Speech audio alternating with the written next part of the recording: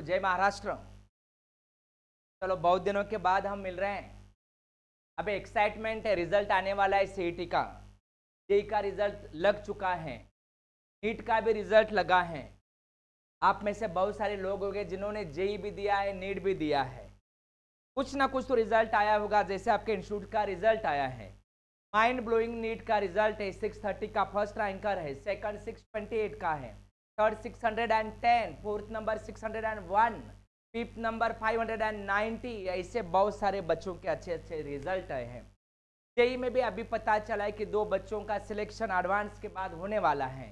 बाकी लोगों का किसी का एनआईटी में होगा, किसी का ट्रिपल आईटी में होगा, किसी का गवर्नमेंट फंडिंग में होगा। और भी वही कुछ लोग ऐसे भी होंगे जो सी टी थ्रू ऑटोनॉमस में जाने वाले हैं। आज के एक्साइटमेंट इसलिए है कि हमें अभी रिज़ल्ट नीट का तो लगा है, जेई का लगा है और दो तीन बाद सी का भी लगने वाला है। मतलब हमारे लिए क्या क्या डॉक्यूमेंट रिक्वायर्ड है, क्या प्रोसेस रहने वाला है एडमिशन में हमें होना चाहिए, कौन सी ब्रांच लेना है मतलब ब्रेन में बहुत सारे प्रॉब्लम्स हैं।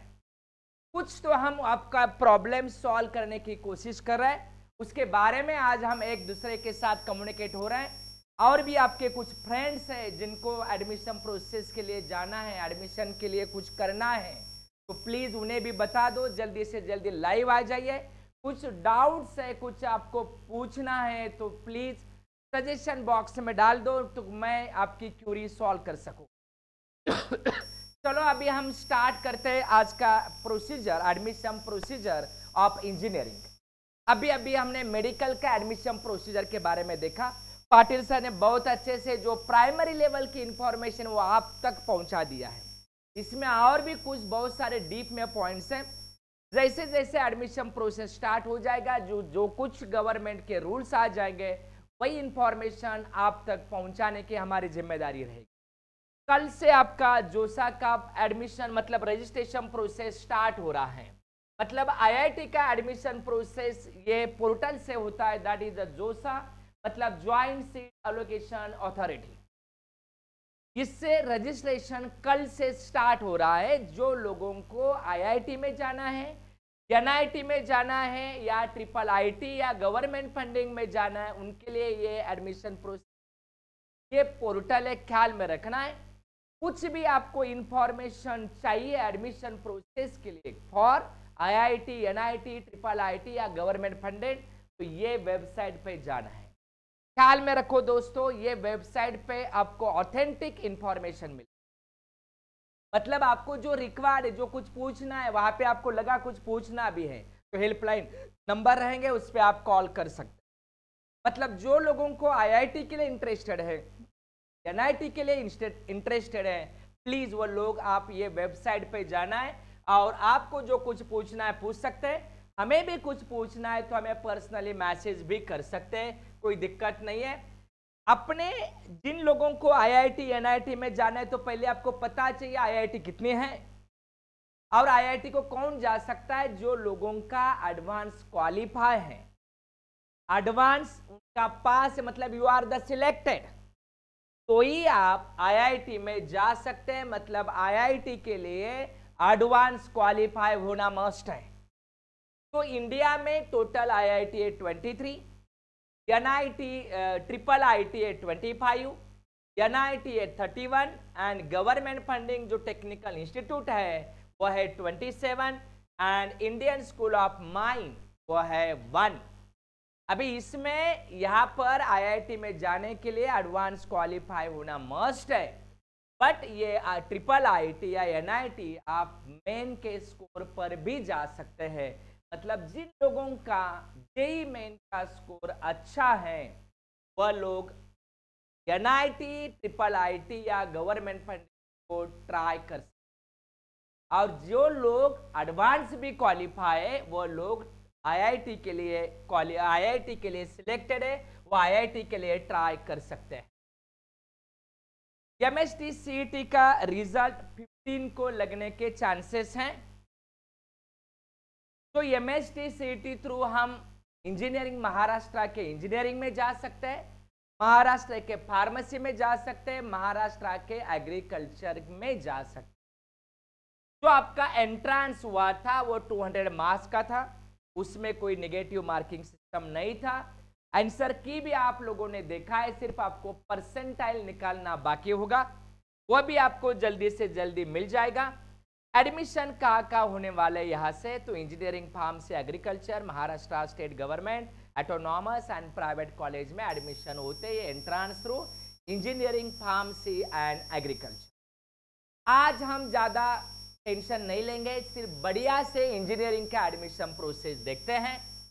तो इंजीनियरिंग के एडमिशन के लिए क्या करना है क्या क्या क्राइटेरिया है, वो थोड़ा सा ज़्यादा डीप में अभी होगा नहीं, क्योंकि फिर से हर साल कुछ ना कुछ रूल चेंज होते रहते हैं। पर जो बेसिक कॉमन रूल्स है, जो बेसिक इंफॉर्मेशन हर साल वही रहता है, वही क्राइटेरिया वही रूल वो कॉमन रूल आज मैं बताने वाला हूँ। आपका जो डिग्री है इंजीनियरिंग का, वो फोर ईयर ड्यूरेशन का है। इलिजिबिलिटी क्राइटेरिया इस साल भी रहने वाला है 45 परसेंट इन बट अगले साल 99 परसेंट चेंज होगा। ये सिर्फ़ 2022 के लिए है। 45 परसेंट मार्क्स यहाँ पर चाहिए open category and other reserve category 40 percent marks in a PC मतलब आपके ग्रुप का जो ओवरऑल स्कोर है ओपन कैटेगरी जनरल कैटेगरी वो ओपन कैटेगरी का 45 परसेंट आना चाहिए। एंड रिज़र्व कैटेगरी का मिनिमम 40 परसेंट चाहिए। मतलब पीसीएम का स्कोर रिज़र्व कैटेगरी 120 मार्क चाहिए।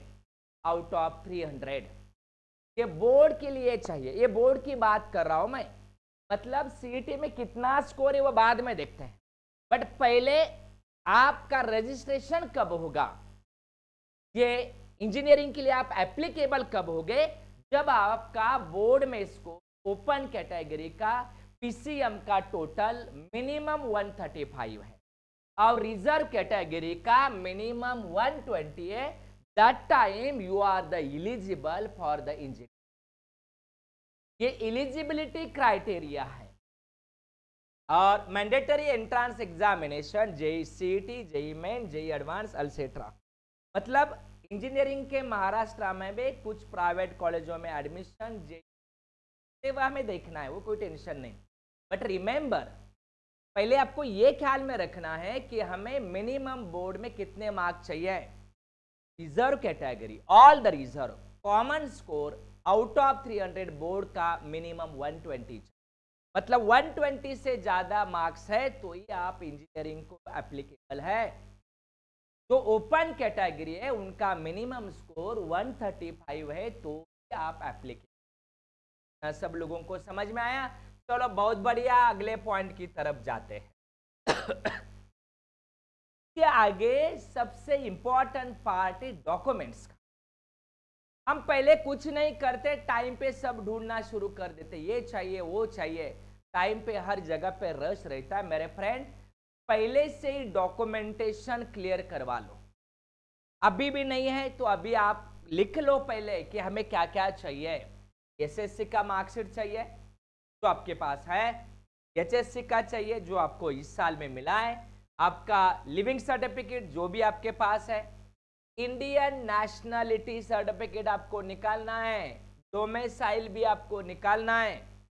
कास्ट सर्टिफिकेट आप कौन से कैटेगरी में है, वह कास्ट का सर्टिफिकेट भी आपके पास होना चाहिए।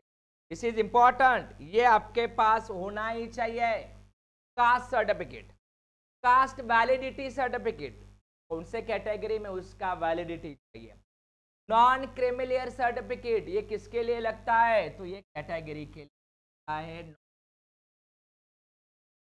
remember for S C and S T no need of non creamy layer certificate non creamy layer certificate मतलब आपका इनकम का सर्टिफिकेट एस सी कैटेगरी के लिए ये मैंडेटरी नहीं है.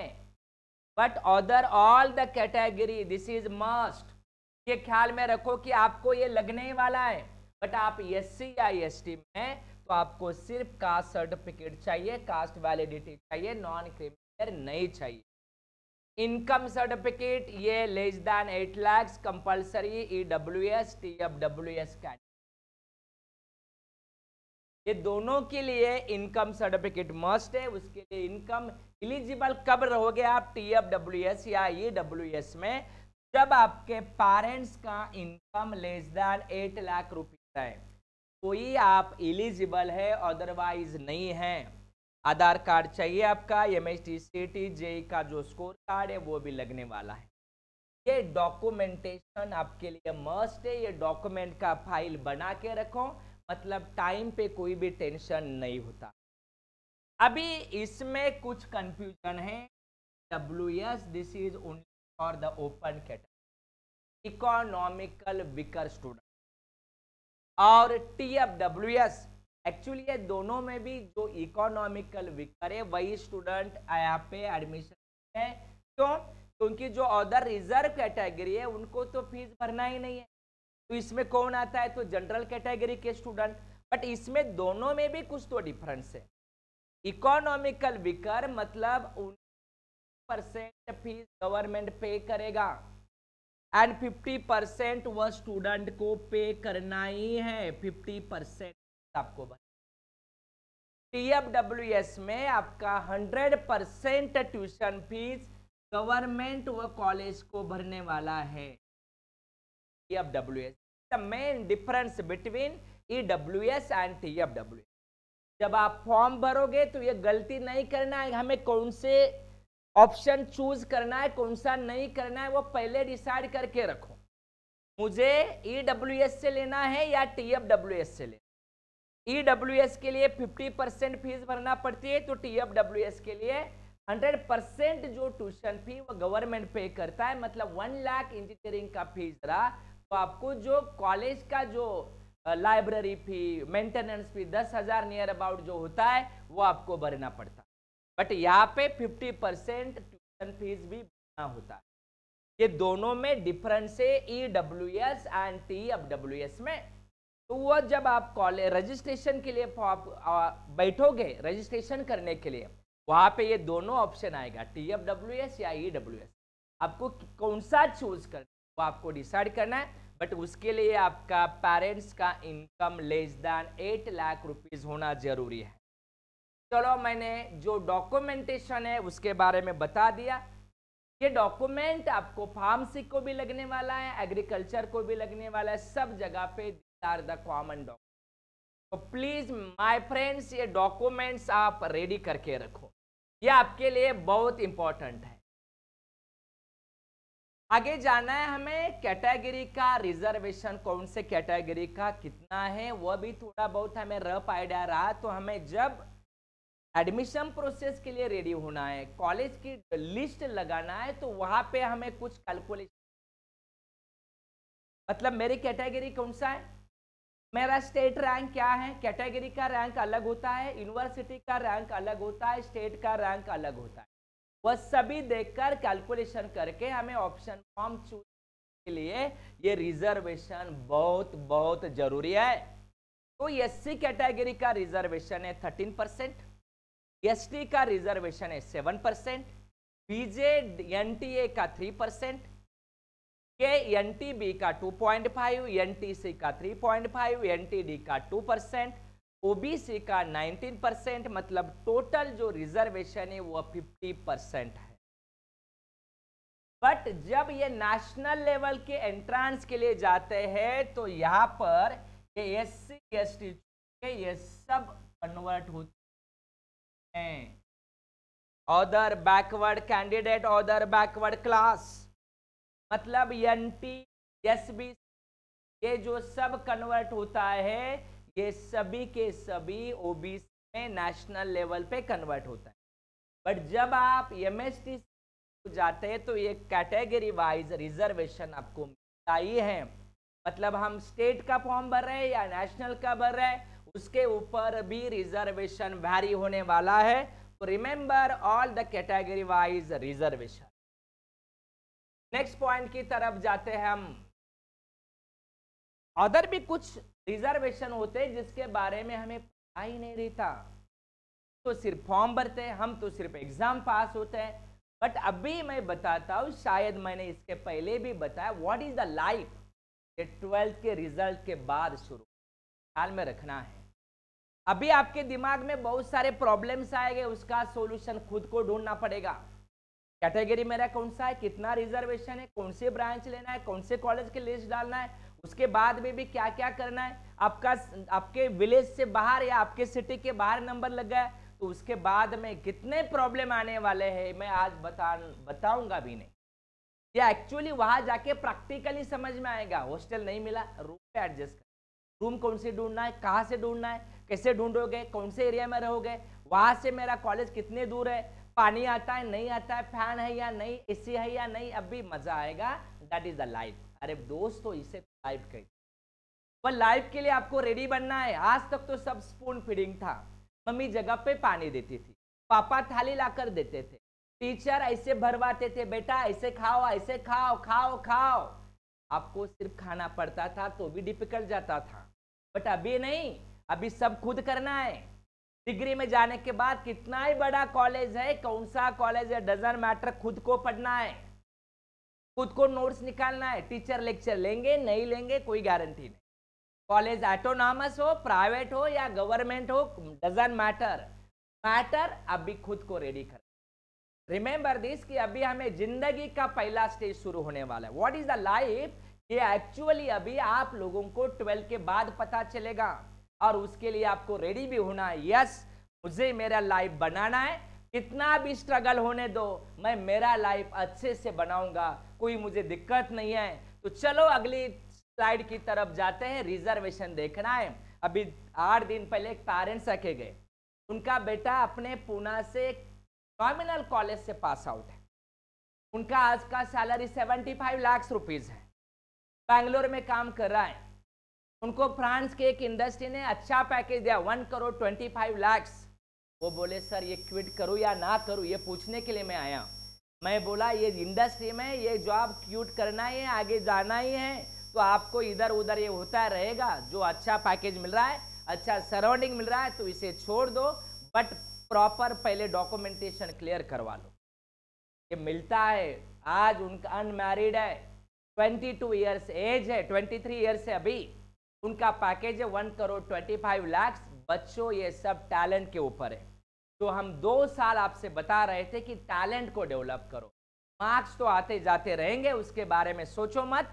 ये रिजर्वेशन आपको नसीब से कुछ लोगों को मिलेगा, कुछ लोगों को नहीं मिलेगा। फाइनली टैलेंट ही है तो उसके ऊपर काम आपको अगले, अभी ट्वेल्थ के बाद भी चार साल में करें। मोस्ट ऑफ़ कॉलेज में थर्ड ईयर को प्लेसमेंट शुरू हो जाते हैं, कुछ कॉलेज में फोर्थ ईयर में होते हैं। कुछ कॉलेज में होंगे, नहीं होंगे, क्या होने वाला है, कौन सा कॉलेज अभी आपको लाइफ के बारे में तो समझना ही पड़ेगा। फ्रीडम फाइटर मतलब ये चिल्ड्रेन जो फ्रीडम फाइटर के स्टूडेंट है, उनके लिए टू परसेंट रिजर्वेशन है। हैंडीकैप स्टूडेंट है, जिनका हैंडीकैप फोर्टी परसेंट से ज़्यादा है, उनके लिए थ्री परसेंट रिजर्वेशन है। डिफेंस है, एक सर्विसमैन है, उसके लिए टू परसेंट रिजर्वेशन है। जो प्रोजेक्ट अफेक्टेड पर्सन है या हिल एरिया के पर्सन है, उसको कुछ जगह पे कुछ अलग अलग वहाँ पर भी रिजर्वेशन मिलता है, वो टोटल फोर परसेंट है बट ये एक्ट के अंदर होना चाहिए। उसकी अच्छे से जानकारी ले लो। एग्रीकल्चरिस्ट एंड दो children of agriculturist who possess minimum qualification और एक्सपीरियंस इन एग्रीकल्चर उनके लिए सिक्स परसेंट है। फीमेल का जो रिजर्वेशन होता है, वो तो थर्टी परसेंट होता ही है। सेवेंटी परसेंट आपके बॉयज़ के लिए है थर्टी परसेंट गर्ल्स के लिए। Candidates and their parents have not resident in the state of Maharashtra at least three years during the period of 10 years immediately preceding the date on which admission is sought. OS मतलब ये उसका reservation है to या अलग अलग other reservation है hill area का reservation अलग होता है रूरल का कौन सा एरिया से आप आए उसका रिजर्वेशन अलग होता है फिजिकली हैंडीकैप का रिजर्वेशन अलग है वहाँ पर एक सर्विसमैन का रिजर्वेशन भी है आप इसमें से कोई रिजर्वेशन में बैठ रहे हैं तो आपके लिए खुशी की बात है। ये रिजर्वेशन के बारे में भी आपको देखना है। कुछ ब्रांचेस के बारे में मैं बता रहा हूँ। यहाँ पे कुछ ब्रांचेस की लिस्ट है। अभी रिज़ल्ट के बाद आप लोग जब फॉर्म भरोगे तो फिर हमारे पास आओगे सर कौन से ब्रांच के लिए करियर है? अभी बता देता हूँ, कोई ब्रांच आपको करियर नहीं देने वाले, आप वो ब्रांच को आज मेरे हिसाब से 10 में से 9 लोगों को कंप्यूटर या आईटी लेना है। क्यों लेना है वो हमें भी पता नहीं। क्या इसके बाद में जो इंफ्रा के बारे में मतलब जो सिविल है सिविल इंजीनियर उनकी ज़रूरत नहीं है? क्या सब इंडस्ट्री बंद होने वाली है? वो वहाँ पे मैकेनिकल की ज़रूरत नहीं है? इलेक्ट्रिकल की ज़रूरत नहीं है? मेडिसिन बनने वाली नहीं है? केमिकल इंजीनियर की ज़रूरत नहीं है? पेट्रोल बंद होने वाला है? ऐसा कोई गारंटी है? पेट्रोकेमिकल की ज़रूरत नहीं है? अरे है, सबकी रिक्वायरमेंट है। वह सब बैलेंस करके चलो। अवेलेबिलिटी अभी क्या है? पाँच साल के बाद किसकी रिक्वायरमेंट रहेगी? और मुझे किसमें इंटरेस्ट है? सबसे इंपॉर्टेंट तो वही होता है। मुझे कौन से फ़ील्ड में इंटरेस्टेड है? वही फ़ील्ड आपको बाकी चीज़ें सब झूठ है। ख्याल में रखो, कोई भी ब्रांच किसी को भी करियर नहीं देते। हम वह ब्रांच को करियर देते तो ब्रांच सोच समझ कर चूज़ बहुत सारी ब्रांचेस है। कुछ ब्रांचेस पर्टिकुलर भी है। कुछ ब्रांचेस को लेकर आप बड़े बिजनेसमैन बनोगे। ऐसे कुछ सोचो yes after five years I am biggest businessman after ten years I am popular business of Maharashtra after fifteen years I am richest person of India yes this is possible ऐसे कुछ आपके दिमाग में होना चाहिए। यस yes, ये मुझे करना तो मज़ा आएगा। तो वह ब्रांच आप चूज़ करो कि मुझे कौन सी ब्रांच चूज़ करना है। वह पूरा ऑथोरिटी खुद का है, वो हमारा कुछ नहीं। हम तो सिर्फ़ गाइडलाइन करेंगे, लेकिन क्या चूज़ करना है? कौन सी ब्रांच लेना है? क्यों लेना है? वो खुद को ही डिसाइड करना है। और आप उसके लिए अभी लायबल बने हैं, आप अपनी ब्रांच खुद चूज़ करो। ये बहुत सारी ब्रांचेस हैं। इसमें से हर ब्रांच में अच्छा फ्यूचर है। हर ब्रांच लेके अच्छे बिजनेसमैन आप बन सकते हैं। लेकिन वह वे आपका सोच, वही वे का होना चाहिए। तो ये बहुत सारे ब्रांचेस के बारे में लिस्ट है और भी बहुत सारे लिस्ट दिया हमने। ये सभी ब्रांचेस हर ब्रांच में बढ़िया करियर बनने वाला है। अभी जा, ये सभी इंजीनियरिंग की ब्रांचेस दिया है। कुछ ब्रांचेस ने अपने नाम भी देखे नहीं, इसके पहले कभी। ये हर ब्रांच में अच्छा करियर बनेगा। और भी कुछ अलग रिजर्वेशन है। पहले मैंने डॉक्यूमेंटेशन बताया कैटेगरी का रिजर्वेशन बताया सीटी का रिज़ल्ट लगने वाला कौन कौन से डॉक्यूमेंट चाहिए, उसके बारे में भी बताया। अभी कैप राउंड कैसे होगा वो तो थोड़ा देर बाद में हम बताएँगे। CAP round one two three है या वन टू है फ्रीज करना है फ्लोट करना है स्लाइड करना है, वो तो बाद में देखते हैं। क्योंकि इस साल में कुछ नया रूल आएँगे तो वो हमें पता नहीं अभी तक। अभी जो है, जो बेसिक इंफॉर्मेशन रिक्वायर्ड है, उसके बारे में हम बता रहे हैं। अभी यहाँ पे मैंने ये जेंडर का रिजर्वेशन बताया। ये क्या है? हर फ़ील्ड में, हर ब्रांच में 70 percent seats reserve for the boys and 30 percent for the girls मतलब female candidate 30 percent male candidate 70 percent मतलब 10 जगह है या 100 सीट्स है मैकेनिकल के। 100 में से 70 सीट्स ये बॉयज़ के लिए होते हैं 30 सीट्स ये गर्ल्स के लिए होता है। बट जब आप कंप्यूटर या आईटी ब्रांच देखोगे वहाँ पे प्रैक्टिकली आप जब देखोगे तो 100 में से 90 तो गर्ल्स होती है, दस ही बॉयज़ होते और मैं कह रहा हूँ 70 परसेंट सीट्स बॉयज़ के लिए। व्हाट इज़ दिस दिमाग में आएगा। ये भी आपको सोचना है, क्या करना, क्या हो सकता है? बहुत सिंपल एग्ज़ाम्पल बता देता हूँ ऐसा क्यों होता है? सेवन्टी पर्सेंट म्हणजे मित्रांनो, सत्तर टक्के सीट म्हणजे शंभर पैकी सत्तर सीट बॉयज़ बॉईजसाठी रिझर्व आहे. तीसच सीट मुलींसाठी आहे. पण तरीही आय टी किंवा कम्प्युटर ब्रांचला शंभर पैकी नव्वद मुली येतात. हे का होतं असं? जर तुम्ही चुकून कधी ट्रेनमध्ये बसला असेल ट्रेनने गेला असेल तर ट्रेनला काही डबे हे लेडीज रिझर्वेशन असतात. की नाही? त्या डब्यामध्ये आपल्याला बसता येत नाही. म्हणजे तिथे लेडीजच बसणार. बाकी डबे जनरल डब्यामध्ये आपल्याला बसता येतं पण तिथे लेडीज पण येतात. इंडियन पॉलिसी की समजा आपण बसलेलो आहेत कुणी लेडीज उभी आहेत तर आपण आपली जागा त्यांना देतो आपण उभे राहतो. म्हणजे लेडीज रिझर्वेशनचे डबे तर तिथे लेडीजच बसणार पण जनरल डब्यामध्ये सुद्धा येणार. आणि अजून करा मुंबईला मोठा लेडीजचा मेळावा होता. आणि मेळावा सुटल्यावर प्लॅटफॉर्मवरती गर्दी कुणाची राहणार? त्यांची राहणार. म्हणजे याचाच अर्थ ट्रेनमध्ये गर्दी सगळी लेडीजचीच असणार. म्हणून काही ठिकाणी काही ब्रँचला गर्दी लेडीजची होते. कारण थर्टी पर्सेंट हे त्यांचे सीट आपण अतिक्रमण करू शकत नाही. मात्र सेवन्टी पर्सेंटमध्ये लेडीज येतात कारण अभ्यास त्या जास्त करतात आणि आपले पण सीट ते तिकडे खेचतात. म्हणून काही ब्रँचला लेडीज जास्त दिसतात. Is the main reason remember this reservation of the gender अगला रिजर्वेशन है यूनिवर्सिटी रिजर्वेशन ये बहुत सारे लोगों को पता ही रहता नहीं कहाँ पर भी कौन सा भी कॉलेज डाल देते हैं और मुझे लगना चाहिए मुझे नहीं मिला।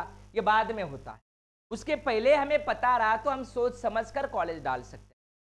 अभी ये 70 परसेंट होम यूनिवर्सिटी है 30 परसेंट अदर्स यूनिवर्सिटी मतलब अभी हम नासिक में रहते हैं तो हम नासिक, नगर, पुणे, ये पुणे यूनिवर्सिटी के अंडर आते हैं।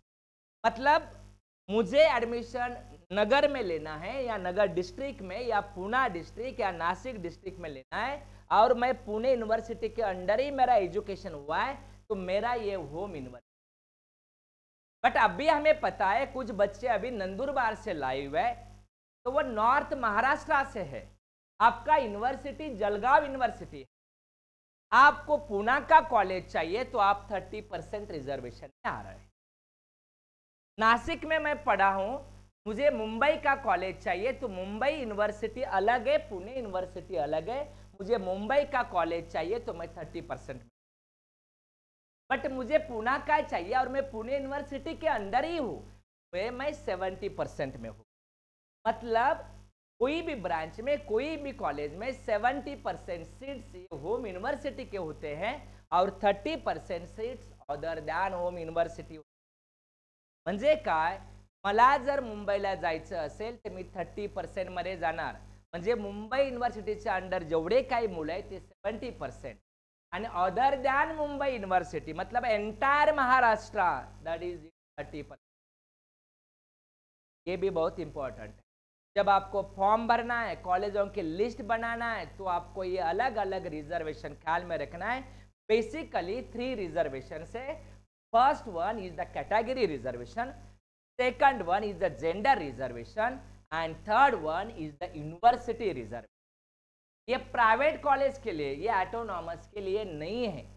ये सिर्फ़ महाराष्ट्र के अंदर जितने भी प्राइवेट कॉलेज है, वो कॉलेजों के अंदर ये रिजर्वेशन और भी कुछ रिजर्वेशन है एग्ज़ाम का reservation seat distribution private colleges अभी हम नासिक की बात कर रहे हैं। नासिक डिस्ट्रिक्ट में जितने भी इंजीनियरिंग कॉलेजेस है ऑल आर द प्राइवेट मतलब ये प्राइवेट कॉलेजों में ये सब रूल रिजर्वेशन एप्लीकेबल है।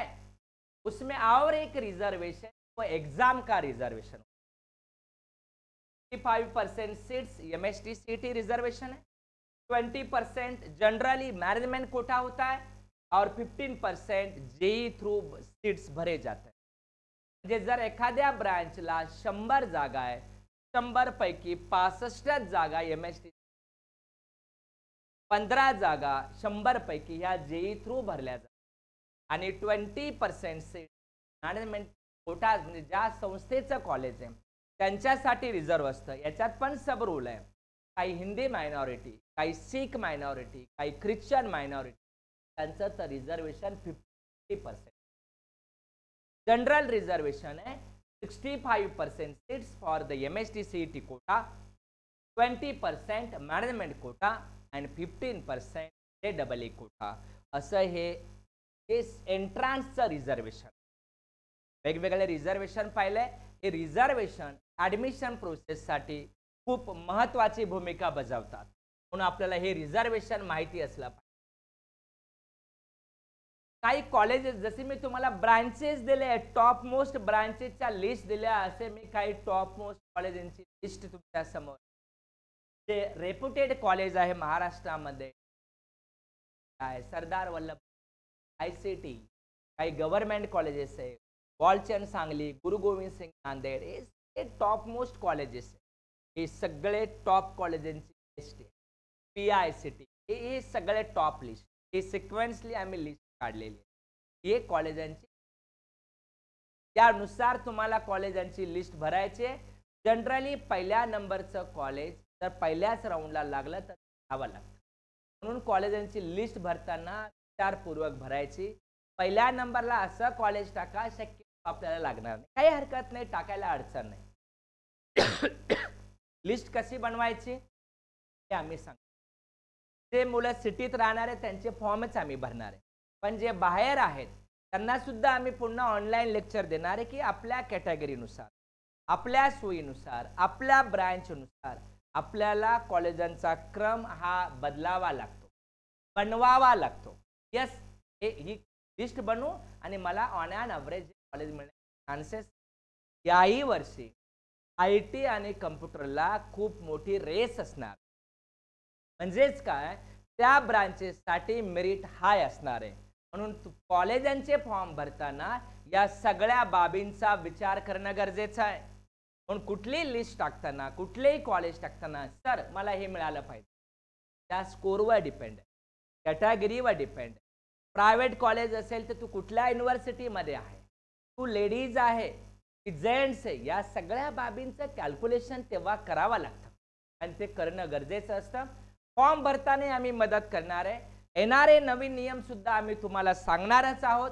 ते बेसिक इन्फॉर्मेशन आहे ते आज आम्ही तुमच्यापर्यंत पोहोचवतो यस इन्फॉर्मेशन मस्ट अजून आपल्या थ्रू आम्ही अजून एक गुड न्यूज बी तुम्हाला देत आहोत. आम्ही एंटायर महाराष्ट्र आम्ही बरेच ठिकाणी ऑब्झर्व केलं म्हणजे याही वर्षी क्रॅश कोर्सला मुलं आले बेसिक वीक होतं. त्यामुळे त्यांना शिकवण्यामध्ये त्रास होतो. किंवा तेवढ्या कन्सेप्ट त्यांच्या बेसिक क्लिअर असतात त्यामुळे जेवढी ग्रीप व्हायला हवी तेवढी होत नाही. म्हणून आम्ही entire whole Maharashtra all subject free of cost lecture सुरू करत आहोत. कुठलेही चार्जेस नाही आहे. त्यांना पूर्णपणे त्या चॅप्टरमधले सगळे important points keywords key notes shortcuts हे आत्तापासून देणार आहे. म्हणजे जेव्हा हे मुलं क्रॅश कोर्सला येतात ॲटलिस्ट बेसिक फाउंडेशन जर चांगलं असेल तर वरती पुश करणं सोपं जातं. अदरवाईज मिळणाऱ्या वेळेमध्ये फॉर्टी फाईव्ह टू फिफ्टी डेजमध्ये टू इयरचा सिलेबस फक्त कंप्लीट होतो. रिझल्टमध्ये पुन्हा रसिक म्हणून आम्ही या आपल्या माध्यमात आपले कोणी फ्रेंड्स ट्वेल्थमध्ये असेल तर त्या सर्वांसाठी नेक्स्ट वीकपासनं आम्ही पूर्णपणे फ्री असे त्यांना ऑल पी सी एम बीचे लेक्चर सुरू करत आहोत. बोर्ड प्लस काही एंट्रान्स त्यामध्ये घेण्याचा आमचा प्रयत्न असेल. आपल्या आजूबाजूला कोणी असेल त्यांच्यापर्यंत ही न्यूज तुम्हाला पोहोचवायची आहेत. आणि आपल्याला ॲडमिशन प्रोसेससाठी लागणारी सर्व डॉक्युमेंट रेडी करायची. मी तुम्हाला टी एफ डब्ल्यू एस आणि ई डब्ल्यू एस यामधला फरक सांगितला एकदा पुन्हा रिपीट करतो. टी एफ डब्ल्यू एसची शंभर टक्के फीस तुम्हाला माफ असते म्हणजे गव्हर्नमेंट ती भरणार असते. मात्र इकॉनॉमिकल विकरला पन्नास टक्के फीस तुम्हाला भरावीच लागते. पण यासाठी तुमच्याकडे इन्कम सर्टिफिकेट मस्ट आहे पण ई डब्ल्यू एचचं रिझर्वेशन वेगळं आहे टी एफ डब्ल्यू एचचं रिझर्वेशन वेगळं. इकॉनॉमिकल विकर स्टुडंटला टेन पर्सेंट रिझर्वेशन आहे आणि टी एफ डब्ल्यू एसला फाईव्ह पर्सेंट रिझर्व हे सगळे कॅल्क्युलेशन तुम्हाला डोक्यात ठेवूनच काम करा. तुम्हाला काही इकॉनॉमिकल विकर स्टुडंट असतात ज्यांना फीज भरणं शक्य नाही आहे पण त्यांचं जर मेरिट चांगलं असेल तर काही प्रायव्हेट इंडस्ट्री सुद्धा सपोर्ट करतात. आमच्या नाशिकमध्ये सॅमसोनाईट इंडस्ट्री काही मुलींना स्कॉलरशिप मुंबईचं सिद्धिविनायक ट्रस्ट शिर्डीचं साईबाबा ट्रस्ट पुण्याचं जैन सोशल ग्रुप असे अजून सुद्धा खूप सारे ग्रुप्स आहेत. हे काही हुशार मुलांना काही फंड प्रोव्हाइड करत म्हणून कुठल्याही मुलाचं एज्युकेशन थांबणार नाही हा त्याच्या पाठीमागचा हेतू आहे. म्हणून आपण बिंदास्त ॲडमिशन प्रोसेसला सामोरं जा आपले डॉक्युमेंट बनवा आणि आपलं भवितव्य घडवण्यासाठी सर्वांनी रेडी व्हावं. त्यासाठी कॉलेजांची रँडमली लिस्ट काढावी. स्वतः मला कुठली ब्रँच आवडते त्यानुसार ती ब्रँच कुठल्या कुठल्या कॉलेजेसमध्ये आहे त्यांची लिस्ट बनवा. मी अँसर की चेक केलेली आहे. मला माझा स्कोर माहीत आहे. त्यानुसार मला हे पण मागच्या वर्षाचे त्या त्या कॉलेजांचे कट ऑफ बघा. त्यानुसार तुम्हाला ॲटलिस्ट अप्रॉक्झिमेट रँडमली आयडिया येणार आहे. मला कुठलं कॉलेज पर्सेंटेज आणि पर्सेंटाईल हे वेगवेगळं आहे. पर्सेंटाईलचा फॉर्म्युला हा वेगळा असतो. पर्सेंटाईल निघणार आहे. मी जेव्हा रजिस्ट्रेशन करणार I am interested for the engineering after that म्हणजे त्यानंतर तुम्हाला state rank category rank university rank मिळणार आहे. त्यानंतरच आपल्याला अचूक ॲडमिशन प्रोसेसचे कॅल्क्युलेशन येतात. आत्ता फक्त तुम्हाला कॉलेजांची रँडमली लिस्ट बनवायची. मला कुठली ब्रँच हवी ती ब्रँच चूज करून ठेवायची. डॉक्युमेंट कुठले कुठले लागणार आहेत ते सर्व डॉक्युमेंट व्यवस्थित फाईल बनवून ठेवा या सगळ्या बाबी आता मिळणाऱ्या वेळेमध्ये तुम्हाला त्या कंप्लीट करायच्याच आहे आणि तुम्हाला पुन्हा त्या पूर्ण पुढच्या भवितव्यासाठी आमच्या या पूर्ण रामराज परिवाराकडनं खूप खूप शुभेच्छा असणार आहे. असंच यश तुम्हाला पुढेही मिळत राहो ही आम्ही परमेश्वर चरणी प्रार्थना करतो. आजचा हा छोटासा एपिसोड होता ज्यामधनं तुम्हाला काही डॉक्युमेंटची माहिती देणं होती काही रिझर्वेशनची माहिती देणं होती. जसे जसे नवीन रूल्स येणार ते सगळे तुमच्यासमोर आम्ही ठेवणार आहोत. नेक्स्ट लेक्चरमध्ये फार्मसीचे ॲडमिशन प्रोसेस ॲग्रिकल्चरची ॲडमिशन प्रोसेस त्याची पण लिंक तुमच्या ग्रुपवरती येणार आणि थोड्या दिवसात त्याची पण इन्फॉर्मेशन आपल्यापर्यंत पोहोचवली जाईल. पुन्हा एकदा सर्वांचे आभार. जय हिंद जय महाराष्ट्र.